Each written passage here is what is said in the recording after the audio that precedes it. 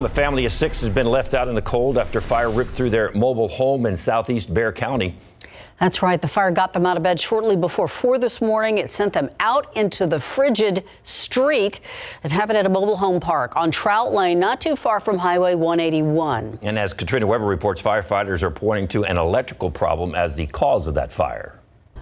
On a frigidly cold morning, fire proved that it is not always a help.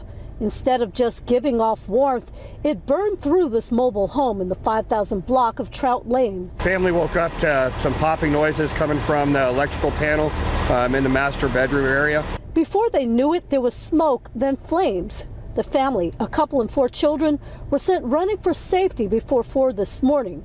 Firefighters rushed in. Quickly moving fire, especially with the wind. Once that front door was open, then it, the fire just started going through the, the actual structure itself and through the roof.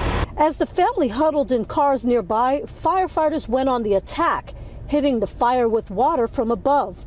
They did their best to not only put it out, but keep it contained.